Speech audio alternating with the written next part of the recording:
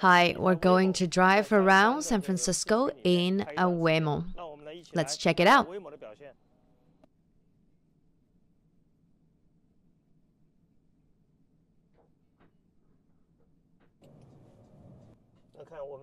Look, there's a Waymo vehicle right next to us. Maybe in the future, when we pass by each other, these Waymos could flash headlights and say hello to each other. Now, when we look at this, it's driving really slowly at about 25 miles per hour. I think FSD would be driving faster than this. Honestly, this is not a really challenging uh, traffic condition. There aren't many cars, pedestrians, or bikes. This SUV is also trying to take a left turn, so we drove forward a little bit. This is very good decision making. Look, this car is parked in front of us. We are trying to maneuver around it. Nicely done. The car made a very, very smooth move. Now, this is very interesting because normally when turning, we would take the inner lane, but it actually took the outer lane. Now, San Francisco is very different from China. It's not easy to drive with a lot of cars, but there aren't many bikes or pedestrians around or motorcycles. We're making a right turn and encountering some traffic. Important to note that um, we've been waiting. I think in San Francisco, other drivers are very polite and give way to us which make me very happy. However, it makes driving less challenging. This is Friday evening. There's a lot of traffic in San Francisco. It's about 5 p.m. now. We expect to see even more traffic and more people. If we were in Beijing, Shanghai, or Guangzhou in China, the situation would be much worse. The most challenging part about driving in San Francisco is the slopes. There are a lot of steep inclines. If I were driving here, I would feel like the car might roll back going up the slopes. Now, this truck in front of us has its emergency flashes on, but we managed to safely pass it at a comfortable speed. Now the traffic light just turned yellow. The slope here is really steep. In San Francisco, there are many steep slopes like this where it feels like you're driving up to the sky. I mean, it's challenging because you need to have a very good perception ability uh, as an autonomous driving car because you are looking forward and upward, covering a lot of ground. As a human driver, I can't see anything directly in front of me. So it feels like I'm driving uphill and I don't know what will come next. Honestly, I couldn't see what was around me until I got here. Oh my god. Now we're able to see. I wasn't able to see anything. Hey, we're ready to go. Unfortunately, someone's blocking the way.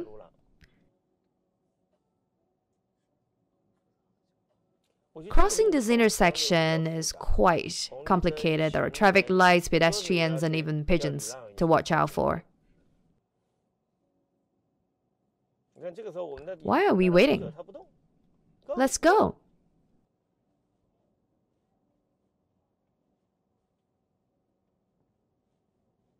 It feels very hesitant and reluctant. Finally, we're moving, and now we're pulling over.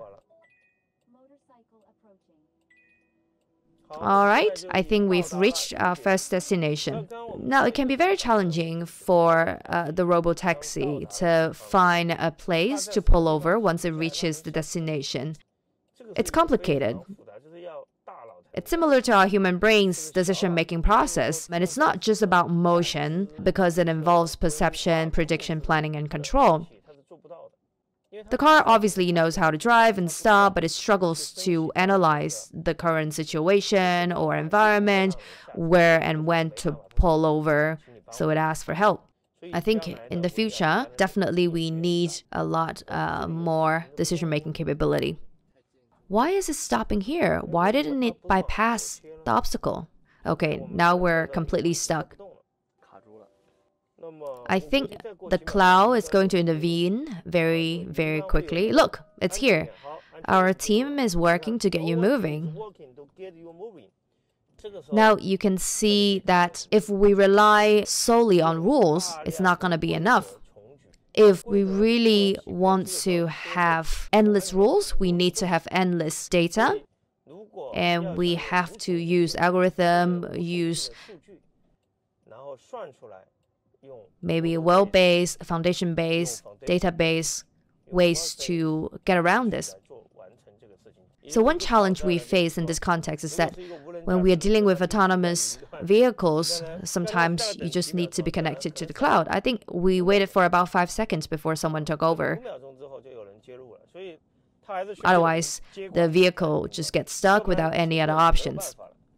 I believe that, I mean, obviously, I've been in autonomous driving um, exploration for many years, and among all the players, Waymo definitely is one of the top players. However, within autonomous driving capability itself, Waymo, when it comes to its capability, there's still a long way to go.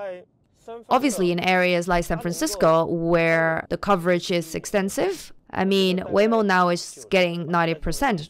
And I would feel very comfortable to rest in a car because it's driving very slow um, at about 25 miles per hour. But on the other hand, it doesn't feel like the smartest technology because it's not very efficient and it's quite slow. But it's slightly weaker than a human driver. I would say I'm slightly disappointed because it's been six months since I last tried it, and I don't feel like there's been much progress. In this era of AI, there should have been more improvement. In the coming 12 to 18 months, its ability or capability may only improve by about 3% to 5%. I mean, this level of improvement in capability honestly, in my opinion, can easily be surpassed by autonomous car makers like ourselves. I believe that by 2025, with FSD and XNGP, we should be able to cover a lot more regions, and that would be really exciting. Here, I would like to highlight our XPeng's AI Valet capability, especially our latest version. It allows you to have a uh, basically designated driver to drive you along your most common daily routes. Uh, for example, driving you to school, to work, get you around your daily routines. AI Valet Driver basically combines the best of XPeng's AI capability with your daily driving needs. It's a perfect match. And currently, we're focusing on covering for example, the ETCP, the highway toll gates that connect highways and uh, city roads, and also towns and villages as well. I believe that when we achieve that, AI valet capability could potentially reach autonomous driving in a very, very mature stage, possibly by next year or even earlier. Six months ago, when I tried Waymo, I felt like it was very close to fully autonomous driving. Uh, however, when I look at AI-based development um, and model-based development, including FSD, and its capability, I see that the progress has been significant. However, rule-based planning and control still feels less than satisfactory, and I feel like one of the biggest challenging facing Waymo is that you still need the cloud to support you. I noticed that the SR here, it really does not reflect the reality. For example, we have dogs and pigeons around. We only see road markings and cars on the screen. Look, it changed our navigation route. It did not make a U-turn. Are we already here? But it says 12 minutes to go. However, it was 7 minutes to go before it changed our route. I think maybe it was because it could not make a U-turn we saw the ETA was uh, seven minutes, like a few minutes ago. Mm-hmm. The like it's uh, arriving in seven minutes, and now it says uh, eleven minutes. We don't know what's going on. Okay, well I can see that the car actually had to um, make another route here at Third Street. Well, the customer service just called to confirm what's going on. Did she ask us about why we didn't turn? No, she asked what happened to the car and was just trying to comfort us. Hey everyone, we just spent an hour and a half in Waymo and now we've switched to Tesla's FSD. And I think Tesla is taking a completely different route because it says four minutes to go. Oh, it's because I added a stop in the middle uh, because we're trying to basically replicate the same uh, route as the one we took with Waymo. So we're trying to follow the same route as Waymo right? I think FSD is doing a good job, but again, the traffic condition is pretty easy to handle. Let's try downtown. The acceleration here by Tesla is obviously way better and more aggressive than Waymo's.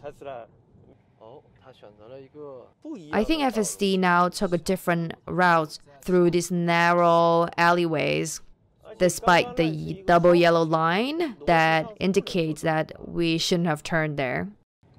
I think that decision was pretty perplexing. I mean, it could have taken a left turn in the main road and proceeded straight instead.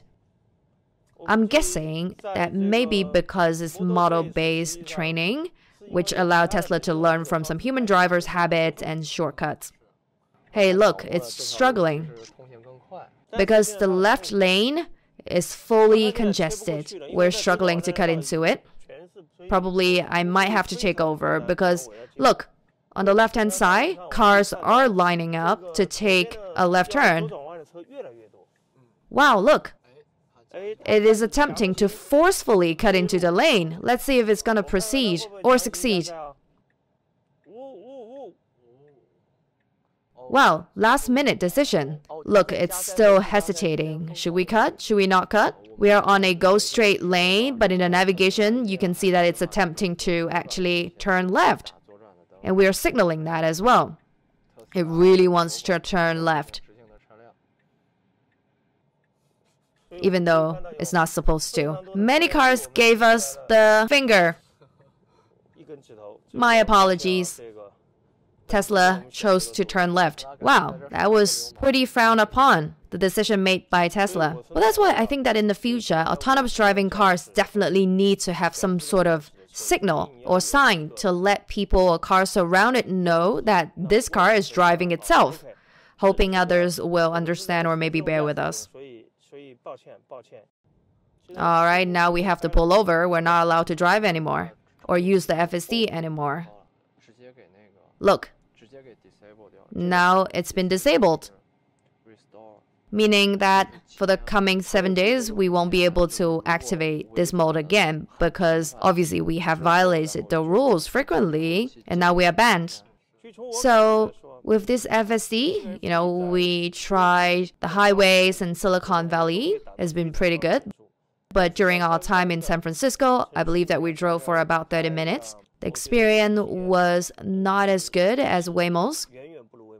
However, I think that as the amount of data used to train FSD gets larger and larger, the system becomes stronger and the infrastructure gets uh, better. I believe that by maybe the second half of this year or maybe next year, FSD, I believe, will surpass Waymo because AI will drive the development of uh, the realization of fully autonomous driving. And maybe by 2026, we can have a car that completely drives itself in some scenarios. And I'm definitely excited and looking forward to seeing more and more autonomous driving cars on the road.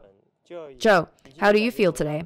Well, I think I uh, definitely prefer the ride in Waymo, but I agree with you in a sense that FSD gave me a lot of surprises. For example, it's been a smooth ride, even though it makes some bold and frown upon moves. It's nonetheless very adaptive and very flexible um, and, and, creative in coming up with solutions. Sometimes, you know, I may not feel completely comfortable with his decisions, but most of the time it feels like it's a really skillful driver. Uh, he was able to take us to the destination, and it was definitely very fun. Yes, I believe that XNGP with Xpeng in China right now, you know, with so much training that we have going on, and with very, very frequent and rapid OTA in the future, will definitely surpass FSD in China uh, and their performance. Now, obviously, this experience with FSD taught me a lot, and we can learn a lot from Tesla as well. When we go back to China, I definitely want to apply some of what we learn the customer experience, the uh, functionality, the experience that we get from FSD, and incorporate those in XNGP. That's all for today. Thank you so much.